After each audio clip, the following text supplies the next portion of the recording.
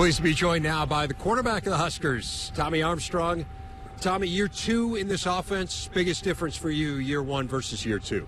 Um, honestly, I think it's just more of a uh, just going out on the field and putting it all together. Um, last year it was kind of a learning experience for us, uh, putting everything um, just in the playbook, getting everything installed, and uh, learning from that.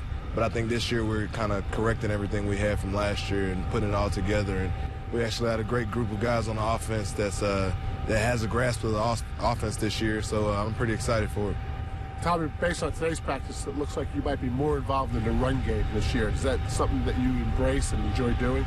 Yeah, uh, I got in shape a little bit more than I, than I did last year. Uh, but uh, this offseason, they've been working me a little bit, so um, I'm, I'm, excited about it. Gives our, uh, our offense another threat, uh, gives our running back um, some more room to get out uh, whenever we have that, that dual threat um, offensive read that we can do.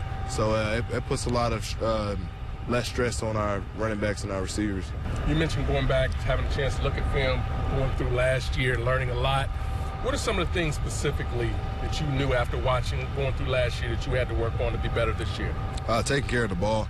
Um, you know, just uh, make sure I know what my check down is. Um, you know, just uh, being able to, you know, tuck the ball and run whenever I think that I can get the first down.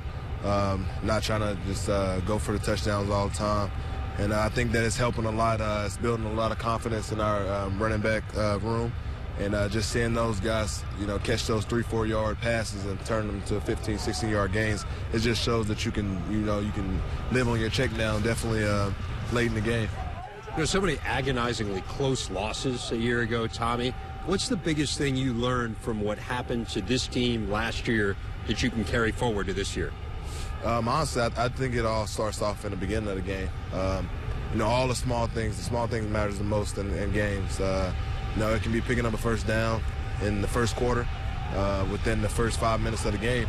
That can win you the game at the end. Uh, like like Coach Riley always says, everything matters the most in that game. You got to make sure that you're able to put everything together and play every every down and uh, every series like it's your last.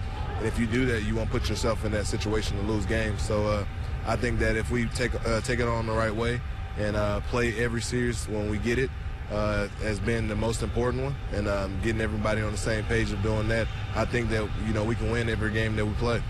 Huskers quarterback Tommy Armstrong. Thanks a lot, Tommy. Have a great year. Thank you.